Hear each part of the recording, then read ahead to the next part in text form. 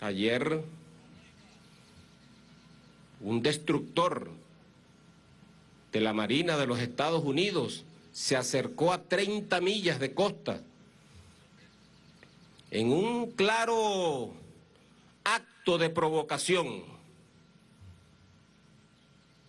No se puede llamar de otra forma, propio de la actitud arrogante. Y luego, por supuesto, nosotros vigilando y haciendo seguimiento de ese buque desde temprano, del rumbo que tomaba. Bueno, se llegó hasta 30 millas aproximadamente al norte de las costas venezolanas, en un claro acto desafiante y de provocación. Y después el almirante comandante del Comando Sur, el almirante Foller, haciendo gala de una ignorancia supina de lo que es el derecho del mar, del derecho marítimo internacional, de las convenciones del mar que han suscrito los países de la Organización de las Naciones Unidas, saca un comunicado diciendo y anotándose como victoria que ha navegado por nuestra zona económica exclusiva, por nuestra zona contigua. Debe leer un poco usted, almirante, se lo digo desde aquí, desde Carabobo. Este soldado del ejército bolivariano debe ponerse usted a estudiar el derecho. Usted puede navegar por allí, pero sepa usted que si usted se atreve a estar ejerciendo labores en la mar, actos en la mar, lo que llaman actos de ley en la mar que le corresponden a Venezuela, usted va a recibir una respuesta digna de los patriotas de Venezuela, de nuestra Armada Bolivariana.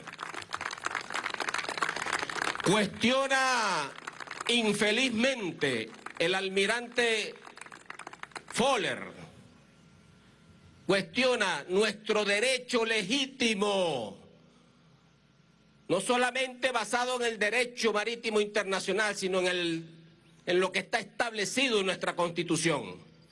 Cuestiona que nosotros hagamos vigilancia continua y permanente, como siempre lo hacemos, en nuestras aguas jurisdiccionales.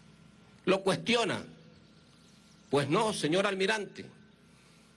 Nosotros tenemos una misión constitucional. No estamos jugando aquí con armas, ni tirando caramelos, ni flores. No nos ofende que usted haya transitado por el paso inocente que se llama navegado, porque lo puede hacer de acuerdo al derecho, no nos ofende. Así que usted se está notando una victoria vacía, de la nada. Pero le repito, no se atreva a usted con sus buques de guerra estar navegando nuestras aguas jurisdiccionales de acuerdo a lo que está establecido en el derecho internacional. No se atreva usted a ejercer acciones, operaciones militares en la mar porque va a recibir la respuesta contundente de nuestra Fuerza Armada Nacional Bolivariana. Es una orden, un mandato constitucional y ha sido una instrucción que ha impartido el presidente comandante en jefe de la Fuerza Armada Nacional Bolivariana. Es un acto infantil, es un acto hasta gracioso, da risa el comunicado del almirante Foller el día de ayer. Pero bueno, estamos aquí en Carabobo y Carabobo nos obliga a mirar al futuro. En base a esa escuela que decía el mayor general Rodríguez Cabello, aprender de Carabobo, aprender de la unidad, aprender del liderazgo, aprender de nuestros valores irreductibles de independencia, de libertad, de soberanía.